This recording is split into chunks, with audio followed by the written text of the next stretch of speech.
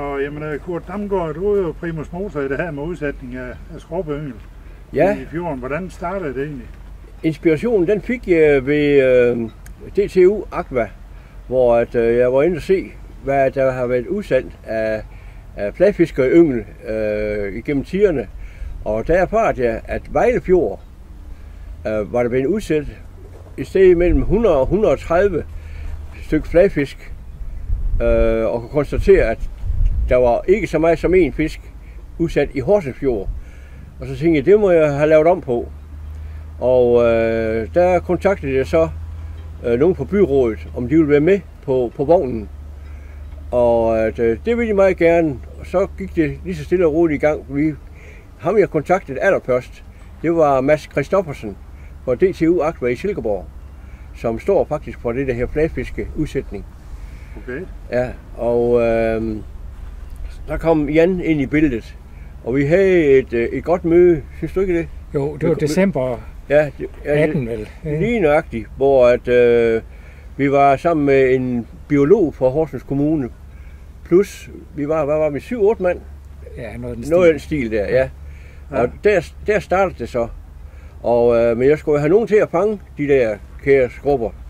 Øh, fordi at, øh, jeg, jeg fangede dem på, jeg havde jo ikke garn på det tidspunkt. Det har jeg nu.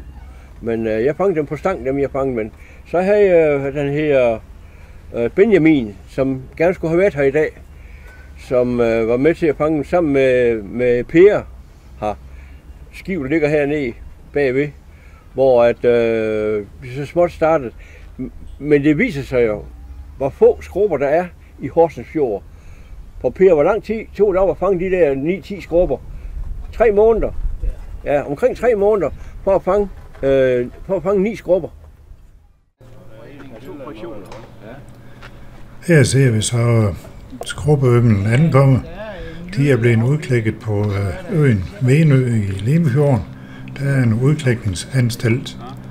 Og øh, resultatet, det blev lidt bedre, end øh, vi først antog. Det blev 10.800, lidt over 10.800 øh, små yngel af cirka mellem 3 og 5 cm i længden.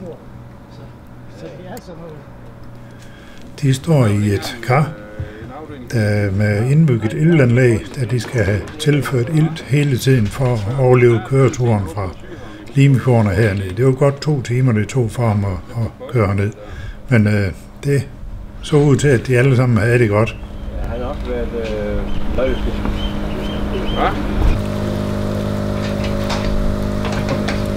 Der er meget forskel på den, hva'? Ja, Vi sætter dem ind i øh, Hallup og så rundt ved Vorsø, over på den her side. Og vi andre, vi Og I sejler over på den anden side. Ja, ja.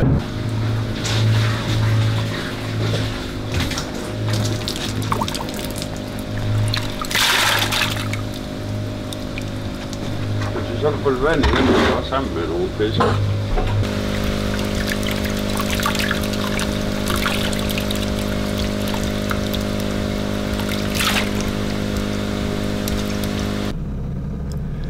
Så er vi klar til afgang fra sundet.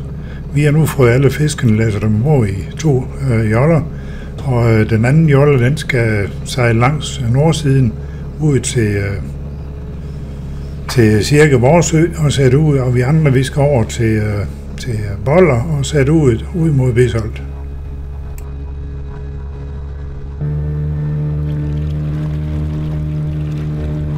Her er Jan i færd med at ilde vandet. Det skulle gøres under hele turen, indtil sidste fisk var øh, sat ud.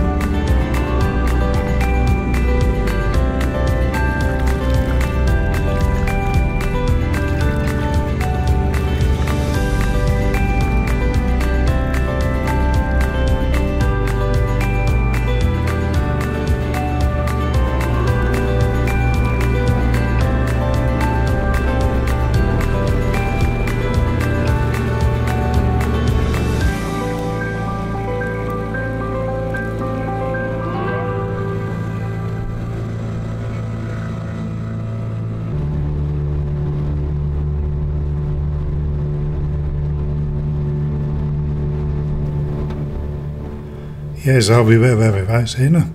Det vi ser her, det er Dysbjerg ved Bisholt, og det var der, vi skulle stoppe med udsætningen. Og de andre to, Dime Christensen og Ole Flensted, er også færdige med deres udsætning på nordsiden over ved, øh, ved Haldrup og øh, eller Vorsø. Ja, vi fandt lige alt der, hvor der var flest ålkrav, der fører vi lige dem. vi skal ikke gå sultne i seng i aften. Nej.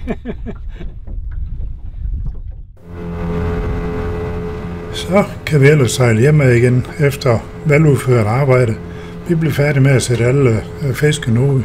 Der var 10.800, og de er fordelt fra Boller til Bisholdt ude ved Døsbjerg, og på nordsiden er det øh, omkring Haldrup og, og Vorsø. Så øh, nu er vi endelig færdige, nu kan vi nyde det gode vejr i den sidste aftensol. Så nu er vi på vej hjem til sundet igen.